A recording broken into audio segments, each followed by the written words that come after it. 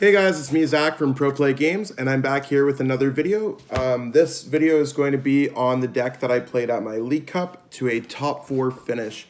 So I've been experimenting with Buzzwole for the past, I'd say two months or so, and I ended up uh, getting onto the Buzzwole Lycanroc hype train a little bit early.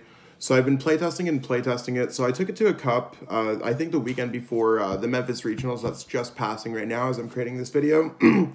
So uh, I'll go over the deck, and uh, here we go. So we have uh, three Buzzwoles. It's really strong. It's very similar to Landorus. EX. Um, Jet Punch is good for doing 30 and 30 to one of your opponent's Pokemon. Knuckle Impact is good for just getting a big knockout, and uh, Absorption GX is really good for getting one big knockout because it's a GX attack. Um, the goal of this deck is to really power it up with uh, multiple things such as Choice Band, Strong Energy, and... Um, Regirock EX's ability. Um, the biggest issue with this card is its uh, psychic, right there, right there, wherever it is. It's uh, psychic weakness because Garbodor was presumed big when this deck was kind of created. So we play uh, Lycanroc GX to take care of that with its grass type weakness. Lycanroc's really good for bringing up Pokemon, getting a big attack off with his dangerous rogue or using its claw slash to knock out things like Tapu Lele and stuff like that. Um, it has to evolve from something, and we have these Rockruff promos. Um, well, I guess the trainer kit one, not the promo, but it's really strong. I like that tackle can uh, knock out a Zorua with a strong energy. Uh, it's much better than the one with corner. I think if you were to play four in a deck, like any deck, you might want to play one of the corner ones, or if you're trying to play a deck that would lock it, you might play the corner ones. But if you have strong energy, I think this run is way better right now. Um, in this deck, we have Octillery because we play Brooklet Hill, so it's really good for just getting things set up. You can get a Remoraid, you can get a Buzzwole, you can get any Pokemon in your deck for the most part. So it's really good for draw power. Um, Regirock with its ability Regipower can do another additional 10 damage. And uh, that's really all you need to start doing some big numbers with Buzzwole. Um, Sudowoodo's a card that I pretty much added into this deck um, because it can copy your opponent's attacks better than what you start off with. So if your opponent's doing an attack with, well, they don't have strong energies, they don't have choice band, they might not have Regirock, well, our watch and learn is going to be doing a lot more damage than their original attack. And we can also Guzma that attack or Bloodthirsty's Eyes with a Lycanroc up one of their Pokemon to do that attack to a different Pokemon. And we play one Lele here. Um, we have the setup between Brooklet Hill. It's a basic deck.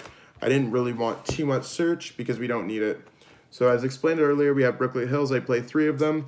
We can search out what we want. Sycamores are pretty common in most decks. Um, so we're just to use it to draw some cards. Don't be too discard, or try not to discard too many cards with Professor Sycamore.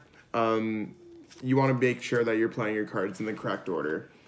Um, similarly, we play 4N. We want to make sure that if we don't want to discard things, we could shuffle them away or shuffle our opponent uh, down to a single card when they have one prize card left. As much as we already play the two Lycanrocs, three Guzmas seems like a good number here. We want to take our knockouts when we want to take them, and Guzma allows us to get there. And I play one Acerola, just really like to counter Mewtwo from Evolutions.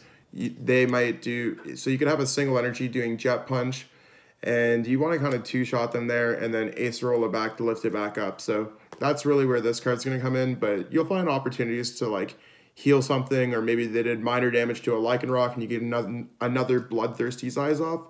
Um, so Acerola is just a good like clutch one of in this deck. Play four Ultra Balls, which is fairly common. So every deck's playing four Ultra Balls, four Max Elixirs, so we could pack, uh, so we could power up our Knuckle Impact and our Absorption GX very quickly.